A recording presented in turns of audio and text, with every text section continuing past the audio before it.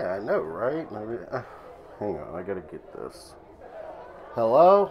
Yo, where the fuck are you at? We were supposed to meet at the spot about 20 minutes ago. Okay, so funny story, and promise that you're not gonna get mad, but I was on my way to the spot, like we said, and I realized I left my old shoes at my old apartment, and so I need to swing by there real quick and just grab them. Wait, what? Shoe? Shoes? Fucking, I don't give a fuck about your shoes, okay? Get to the fucking rendezvous point right now! But they're my limited edition 97 Air Jordans. I need those. Ah, so stupid.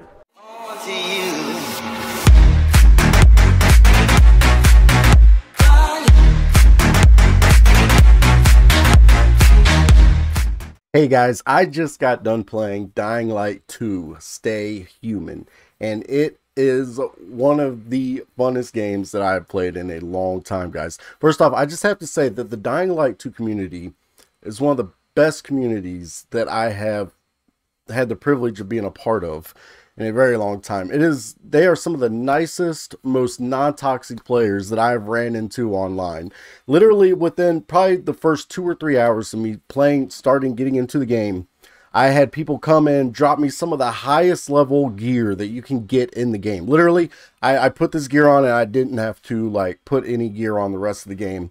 Um, I had a guy give me a magical shotgun. I think it's called the Kadoom stick. He came in and gave me his magical shotgun that he said it was pretty difficult for him to even get, and he gave it to me. I really wish I had written down the his his gamer tag because man, he deserves such a huge shout out. And then I had another guy that same gameplay episode just come in and show me how to get a magical broom that let me fly around the map and just have all sorts of freedom and things like that. And oh man, like I really wish I could remember these people's names because they deserve a shout out. And they were so awesome and so nice. Every single person that came in helped me.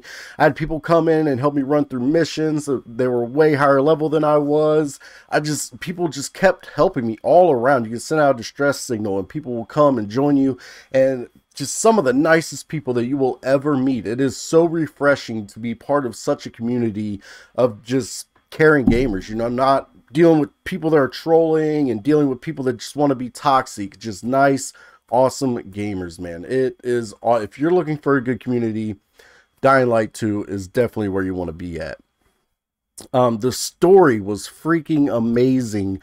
Uh, the voice acting was all good. Um, the uh, the parkour mechanics were awesome. Like all of it put together made such an incredible experience. And i'm terrified of heights man. And there were literally times when i'm climbing these massive towers and buildings my hands would be shaking. Like i didn't know if i was going to be able to finish certain missions and things like that because my hands were shaking so bad. My heart was beating. I'm like sweating. I'm like I'm really high up, dude. Like I could not imagine playing this game in VR. It would be so intense and absolutely insane. Maybe someone should port it over there. I don't know.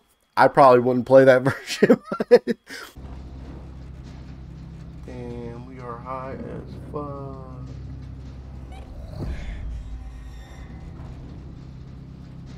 Holy shit.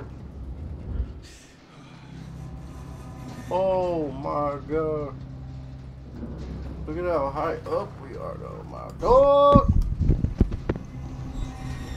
Have we made it up to the top yet? I'm seem like I'm going back down. What the hell's happening? Yeah, I'm going down. What the hell's happening? I don't know. You press the button. oh, I was I was gone taking a piss, my guy. Okay, here we go. Oh, ah, I just fell.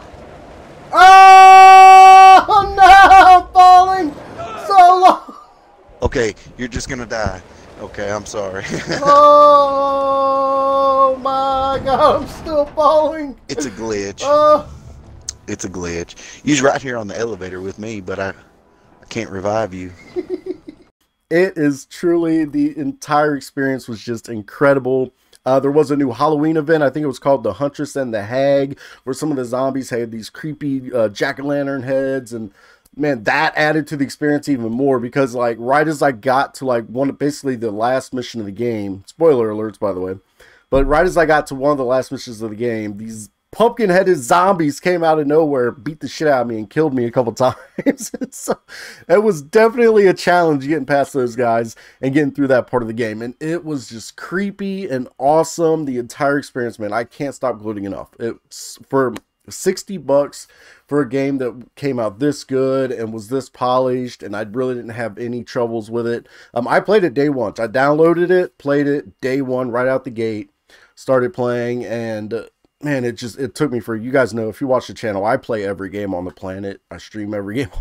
So it took me a long time to finish this one, but man, now that I'm done, it it's definitely incredible. Definitely worth your $60. This game is going to give you your value for sure. The ending was oh man, the ending was emotional. It hit hard. It had me like Oh fuck! And I got the good ending. I, I guess uh, somebody was telling me I got the best ending in the game that you could possibly get.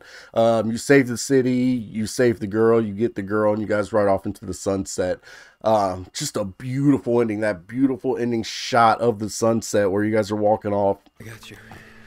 Damn, this shit is emotional, dude. You're safe.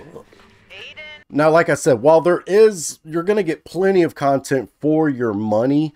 Um, I was kind of curious why they decided to not do the uh, multiplayer. I, am pretty sure Dying Light 1 had multiplayer. Now, I'm not complaining. I didn't miss it at all. I, I've rare, very rarely touched Dying Light 1 multiplayer. I think I, I think it had multiplayer. I can't remember. it's been so long, but but I was curious why they decided not to add it in. Not that I miss it or need it at all. There's plenty of content. I still haven't, I finished the main campaign. That's it. And maybe like five or 10 side missions. I, man, there is so much more to this game I can explore and keep doing and things like that that I still haven't done. It's crazy the amount of content you get in this game.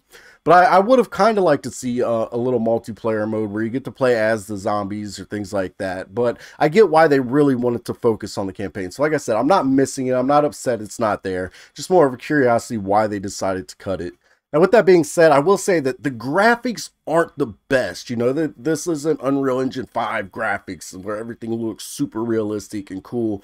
And even playing in 4K, I could tell, like, you know, they've, they've been working on this game for a long time and it shows that yes this this game looks like something that maybe came out like four or five years ago but still it, it didn't bother me. Everything was there that i wanted. The gameplay was awesome and the graphics were good enough. They were fine. It, it didn't bother me to a point where i even really thought about it except for in making a review. It's really the only time that it, i had to bring it up like yeah they, they could have been better but they were fine. They they like i said didn't take anything away from the game one thing I will say is I wish that there were more boss zombies and I wish they forced you to encounter the zombies more. Like the one of my biggest complaints was like basically every boss fight was just you fighting the same guy. Oh god.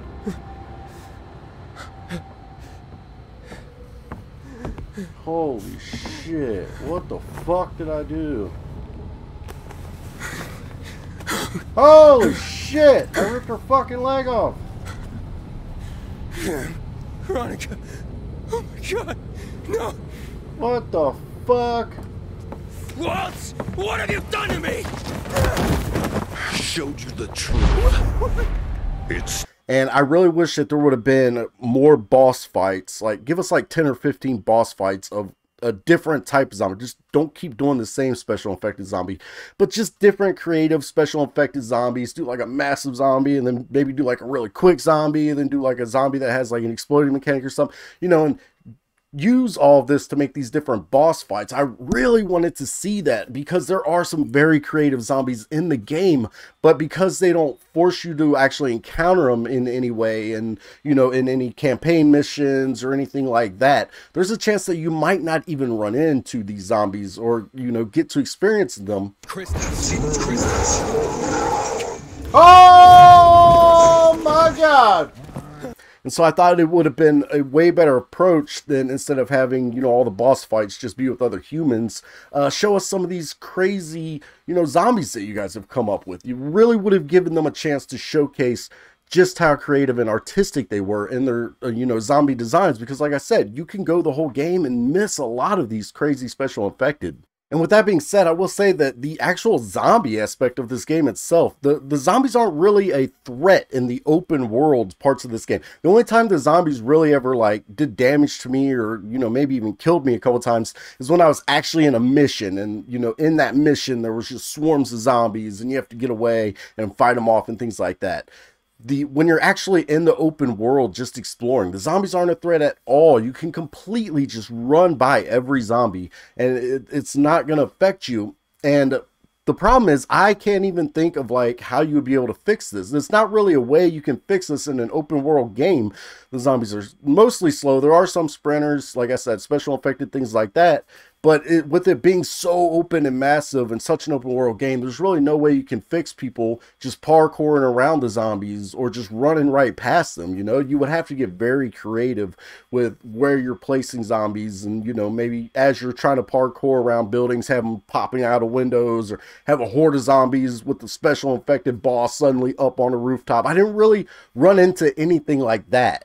But with all of that being said, guys, I will say that this game, the community, everything all around is definitely worth it. It's definitely awesome. You should check it out, especially if you like zombie games, even though I don't know if I can really call this a zombie game.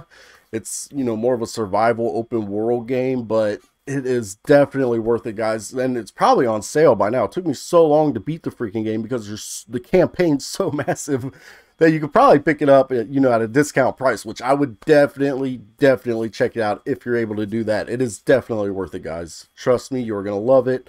Um, and I, I, think that's all for me, guys. I really appreciate it. I really hope you guys check the game out. Um, if you're new to the channel, feel free to leave a like, subscribe. It just helps us grow. We're, we're a small channel. We're trying to grow. But I really do appreciate it, guys. Thank you so much for watching. I am the one and only Z. Bye-bye. Frank, your neighborhood is marked on some tactical map. You have to tell people to evacuate. What? There's no time to explain. Just clear everyone out of there, Frank. Shit. Okay, on it. I don't even have time to explain. Well, I don't have time to explain. Just wait here. I'll try to get through to them from above and take... How fucking far? Oh. Holy shit. We're gonna need more wax. Maybe the problem is that the building has no electricity. Is there any other way to get in there? It depends how much we're prepared to risk. A lot, if you ask me. Okay, then come with me. Building is. I have something to show you. I think it's because we don't have electricity. What the fuck is going on here?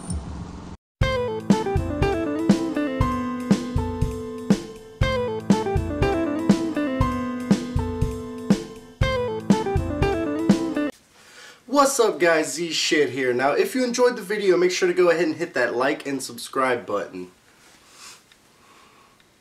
What? What that? That's it. That's, that's all I got. Get, get the fuck